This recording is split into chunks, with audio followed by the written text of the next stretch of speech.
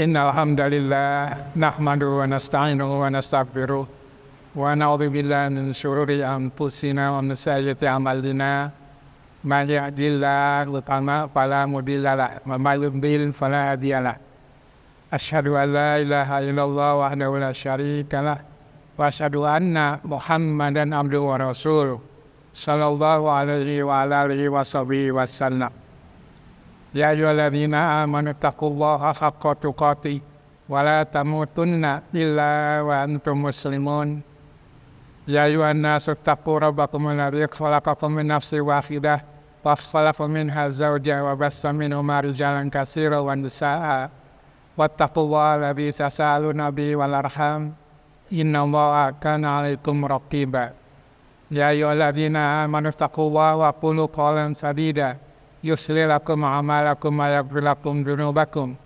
ومن يطع الله ورسوله فقد فاز فوزا عظيما. فإن أصدق الحديث كتاب الله وخير الهدي هدي محمد صلى الله عليه وسلم.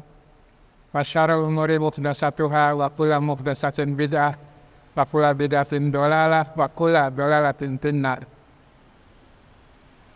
أما بعد Masyiral muslimin rahimani wa rahimakumullah. Alhamdulillah segala puji kita panjatkan kepada Allah Subhanahu wa taala yang telah banyak memberikan nikmatnya pada kita semua, yang telah banyak memberikan rahmatnya pada kita semua, sehingga kalau kita menghitung-hitungnya tidak akan sanggup kita menghitungnya. Maka semoga kita semua menjadi orang-orang yang bersyukur kepada Allah yaitu dengan cara meningkatkan keimanan kita kepada Allah dan meningkatkan ilmu dan ibadah kepada Allah Subhanahu wa taala.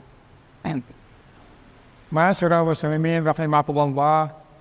Pada siang hari ini tema yang diberikan pada kami adalah tentang para pemimpin yang zalim di dalam Al-Quran. Di dalam Al-Quran tidak begitu banyak Allah menceritakan para pemimpin yang zalim. Ada Raja Namrud, ada Firaun yang banyak sekali ayat-ayatnya. Ada juga Raja Yaman namanya Dunwas. Dan kalau kita ambil kesimpulan dari kisah-kisah tersebut, ternyata pada dasarnya pemimpin yang zalim itu itu adalah orang-orang yang bodoh tidak menggunakan akalnya dengan sebaik-baiknya, tidak menggunakan penglihatannya dengan baik, dan tidak menggunakan pendengarannya dengan baik untuk memahami kebenaran yang datangnya dari Allah Subhanahu wa taala. Kita akan melihat salah satu pemimpin Raja Babilonia, yaitu Raja Namrud, di mana dia ada di Indonesia dan daerah sekitar Irak kalau sekarang. Di situ Allah mengutus Nabi Ibrahim alaihissalam karena sudah keterlaluan. Namrud ini karena diberikan umur panjang oleh Allah ratusan tahun dan tidak pernah sakit sehingga akhirnya dia menganggap dirinya sebagai Tuhan. Maka rakyatnya disesatkan dan menyembah dia setiap pagi. Karena dia merasa dirinya sebagai Tuhan. Padahal Nabi Ibrahim alaihissalam datang untuk menyadarkan raja yang zalim ini. Di mana ketika Raja Namrud membuat patung-patung yang banyak jadi di samping dia disembah, maka dia pun menyuruh rakyatnya menyembah patung-patung yang ada. Ada patung yang paling besar, ada patung yang paling kecil. Maka patung-patung ini ketika suasananya sudah mendukung, dihancurkan semua oleh Ibrahim. Dan dibiarkan yang patung yang paling besar, kampak untuk menghancurkannya diletakkan di badan patung tersebut. Maka ketika semua orang tahu bahwa ini adalah bulan yang beralim, maka dia pun diadili. Maka raja bertanya, wahai Ibrahim, kamu yang menghancurkan Tuhan-Tuhan kami? Kata Ibrahim, kamu tanya saja sama batu yang paling besar itu. Tuh kapaknya masih ada di tubuhnya. Yang raja itu mengatakan, dia kan tidak bisa bicara. Nah di sini Nabi Ibrahim AS mengingatkan akalnya. Kalau memang tidak bisa bicara, kenapa kalian sembah? Benda yang tidak bisa bicara, tidak bisa memberikan manfaat, kenapa kalian sembah? Maka rajanya menjawab, ini adalah kebiasaan nenek moyang kalian. Jadi akalnya coba dibangkitkan, tapi tidak bisa. Maka terjadi dialog yang bis. Firmankan Allah di surah Al-Baqarah 258. A'udzubillah minasyaitonir rajim. Alam tara ilal ladzi hajja Ibrahim fi rabbih an atahu Allahul mulk إذ قال إبراهيم ربي الذي يحيي ويميت قال أنا أحيي وأميت قال إبراهيم فإن الله فإن الله قال إبراهيم قال إبراهيم فإن الله يفرد الشمس من المشرق فأتي بها من المغرب Wa mu'ita alladhi kafar. Wallahu la yabnil qawma zalimin. Allah berfirman, tidak nak kau perhatikan orang yang berdebat Ibrahim tentang Tuhan. Ketika Ibrahim berkata, Tuhanku adalah yang menghidupkan dan yang mematikan. Maka Namrud menjawab, aku pun bisa mematikan dan menghidupkan. Dalam riwayat diambil dua tawaran, yang satu dibunuh, yang satu dibiarkan hidup. Dia mengatakan, itulah aku sebagai Tuhan, bisa menghidupkan, bisa mematikan. Betapa bodohnya dia. Maka Ibrahim alaihissalam berkata lagi, Tetapi Allah menerbitkan matahari dari timur.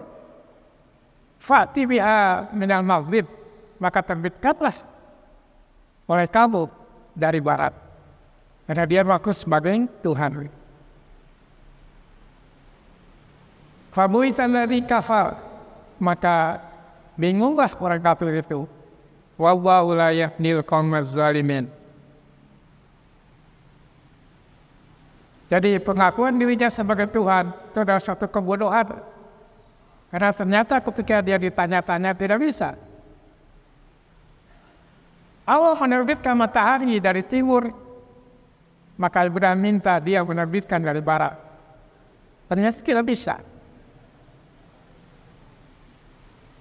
Jadi dia sudah diterangkan oleh Ibrahim salah, tapi akalnya sudah bisa menerima. Dan pada akhirnya Ibrahim harus menerima hukuman bakar. Dia pun dibakar. Tapi Allah berfirman, Ya narukuni barat wassalamu ala Ibrahim. Wahai api, dinginlah untuk keselamatan Ibrahim. Maka Ibrahim tidak terbakar. Dan ini mestinya mata yang melihat akan timbul keheranan harusnya bahwa kenapa api yang biasa membakar ini tidak bisa membakar. Tapi kembali hatinya Namrud tertutup. Dia tetap tidak bisa menerima kebenaran yang ada di dalam di depan matanya. Dan dia tetap tidak mau menerima kepada Ibrahim alaihissalam. Dan bagaimana akhirnya? Allah yang bersifat halim yaitu santun tidak segera menghukum tapi diberi kesempatan. Tapi setelah berkali-kali diterangkan Ibrahim AS Raja Namrud tidak bisa menerimanya. Tetap kufur kepada Allah dan tetap mengaku dirinya sebagai Tuhan.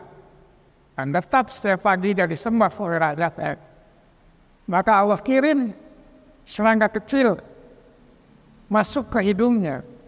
Dan hidung terus naik ke atas sampai ke otaknya. Sehingga dia kesakitan luar biasa. Sakitan yang luar biasa.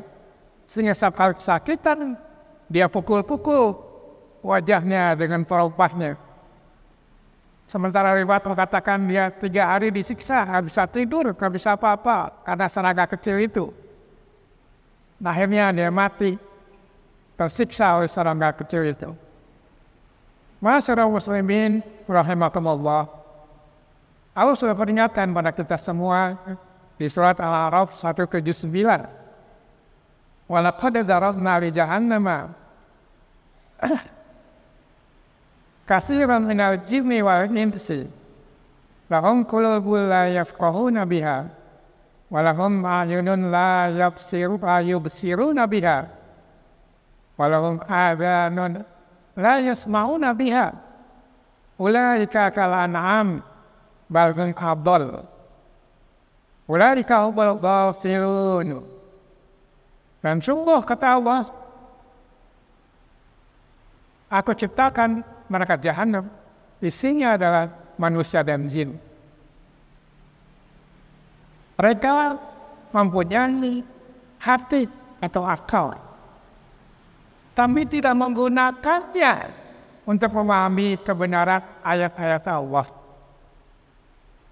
Mereka pun mempunyai penglihatan mata, tetapi tidak digunakan untuk melihat tanda-tanda kebesaran Allah mereka pun punya telinga, tapi tidak bisa mendengarkan tanda-tanda kebesaran Allah. Mulai kekal am, mereka itu adalah seperti binatang ternak, balbul abgol, bahkan lebih rendah lagi. Mulai kabumul ghafilun, mereka lah orang-orang yang lalai.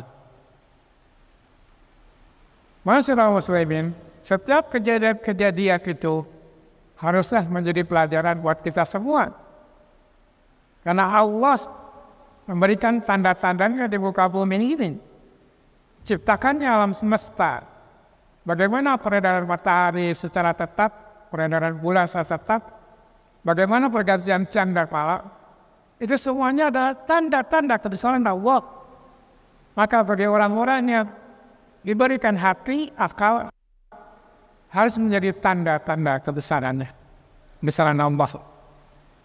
Begitu juga Namrud mestinya melihat bagaimana api tidak bisa membakar Ibrahim alaihissalam. Berarti ini adalah sesuatu yang luar biasa.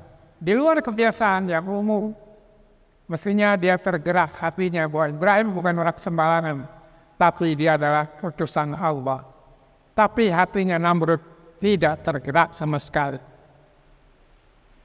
Bahum qulubun la yafqahuna biha.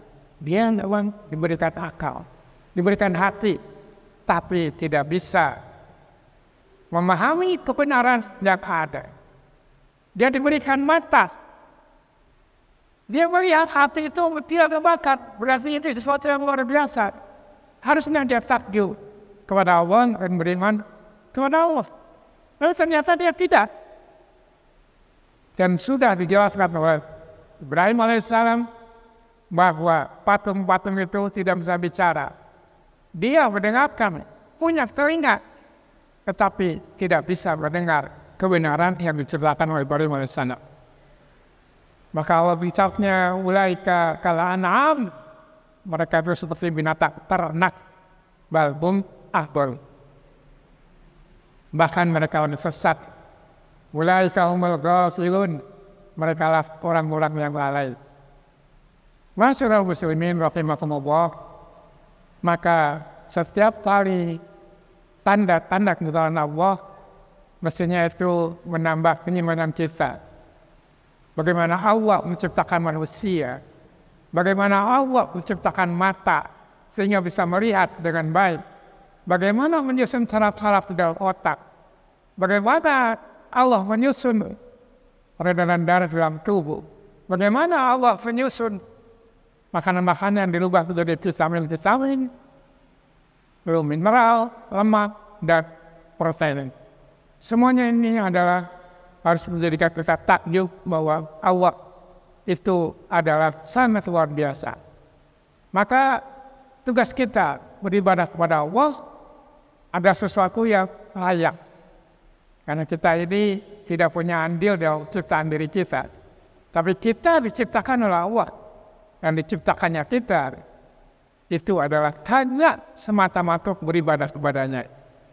Dan bagi orang-orang yang taat beribadah kepada Allah, kalau janjikan kehidupan baik di dunia dan di akhirat. Bahkan di akhirat nanti Allah sudah siapkan surga yang kekal. Selama-lamanya tidak bisa mati lagi di sana. Maka pelajaran dari orang-orang raja-raja yang zalim itu tidak lain mereka adalah orang-orang yang bodoh tidak bisa menggunakan akalnya, tidak bisa menggunakan watannya, tidak bisa menggunakan telinganya untuk memahami kebesaran-kebesaran Allah.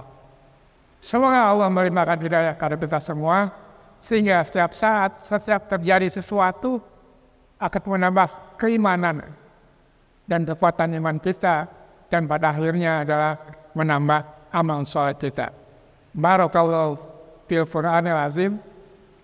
Wa yakum mimma fihi min ayat wa dhikr wa afuqu qawli hadha wa ghafurur rahim.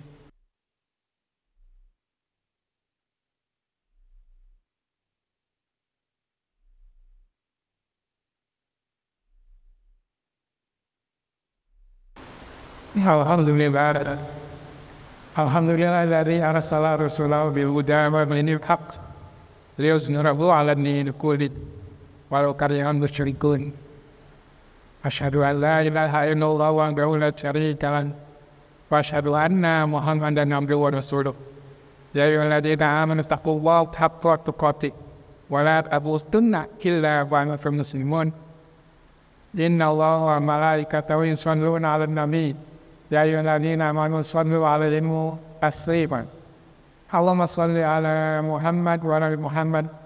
كما صليت على إبراهيم وعلى إبراهيم. في العالمين إنك حميد مجيد. وبارك على محمد وعلى محمد. كما باركت على إبراهيم وعلى إبراهيم في العالمين إنك حميد مجيد. اللهم اني اسالك بأن اشهد انك انت الله لا إله إلا أنت الصمد. alladhi lam yalid wa lam yulad wa lam yakul lahu kufuwan ahad. Allahumma ighfir lil mu'minina wal mu'minat wal muslimina wal muslimat. Al ahya'i minhum wal amwat bi rahmatika ya arhamar rahimin. Allahumma izal islam wal muslimin wa ilikil kabarat wal muslimin wa damir ada ana wa ada din Ya Allah, Ya Rabbi, tolonglah kami di Gaza, Palestina, lindungilah mereka dan ditemuran Yahudi lanatullah. Ya Allah, bukakanlah kepada mereka agar makanan, obat-obatan, minuman listrik bisa masuk. Ya Allah, hancurkanlah Yahudi lanatullah. Mereka berbuat sangat zalim. Sudah sepuluh ribu orang korbannya di Gaza, Palestina. Ya Allah, Ya Rabbi, hukumlah mereka dengan hukuman yang berat. Hancurkanlah Zionis Yahudi lanatullah. Rabbana hab lana min azwajina wa dhurriyyatina qurrata a'yun waj'alna lil muttaqina imama. Rabbi ij'alni muqimas salati wa min dhurriyyati. Rabbana wa taqabbal du'a. Rabbana hab lana min azwajina wa dhurriyyatina qurrata a'yun waj'alna lil muttaqina imama. Rabbana atina fid dunya hasanah wa fil akhirati hasanah wa qina adzabannar. Subhana rabbika rabbil izzati amma yasifun wa salamun alal mursalin walhamdulillahi rabbil alamin. Hatimis